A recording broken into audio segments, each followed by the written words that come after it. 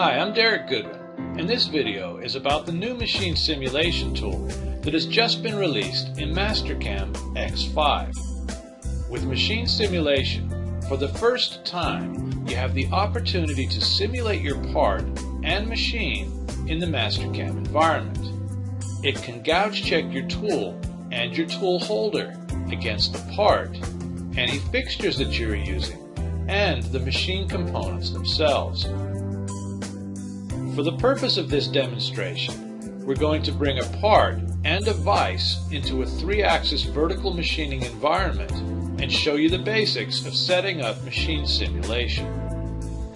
I've prepared a file with a part that has its origin on the top left corner. I've also imported a vise onto its own level using the file merge command and transformed it to the correct location relative to the part.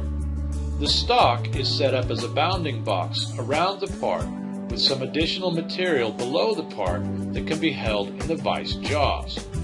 The first thing we need to think about is the distance between the part origin and the machine simulation origin. In machine simulation, on a three-axis machining center, the origin is at the center of the table in the XY direction and the top of the table in the Z direction.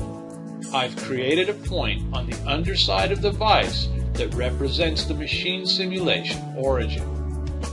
I've applied tool paths, and for each tool, I've selected a tool holder.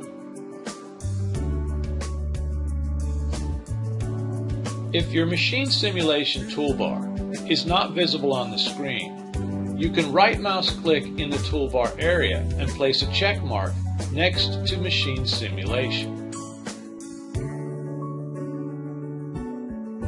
Make sure all of your operations are selected and pick Simulation Startup Settings. Select the 3-axis generic vertical machining center from the drop-down menu. For workpiece geometry, click on the drop-down arrow and pick selected elements. Click on the Pick tab, select your part, and press Enter. It's important to note that you must have either solid or surface geometry or an STL file available to utilize machine simulation. Click the drop-down arrow next to Position and select Translation in XYZ. This translation value is the distance between your workpiece origin and the machine simulation origin at the center of the machine table. Click on the Pick tab. You're prompted to select the first point, which is Table 0 point.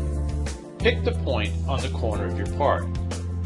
You're prompted to select the second point, which is the machine 0 point. You'll notice that I'm using the auto cursor so that only points are selectable. This is helpful when picking geometry in Mastercam. Next, click on the drop-down arrow under Fixture Selection. You could select the entities from the screen, but since I know what level my vise is on, I will just specify that the fixture is on level 10. For stock, I'll tell the system to use the Mastercam stock definition. Now we're ready to go. So click on the Simulate button. I'm going to roll my mouse button a few clicks to zoom in on the part. Machine Simulation is an outside add-on to Mastercam and uses its own set of hotkeys. Click on the keyboard icon to see what the hotkeys are for zooming, panning, and changing views. You can map your own hotkeys. Press play to view the simulation. Now, I don't know about you, but I can tell you about us at De Anza College, and this is going to save students a lot of time. Because from here on out, if they program their end mill to plunge into the vice jaws, they're going to be able to see that right here in machine simulation.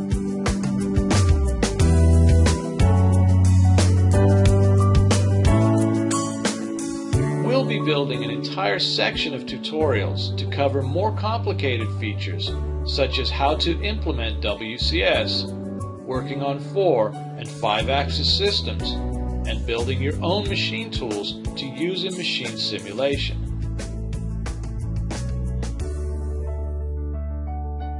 Thanks for visiting eapprentice.net.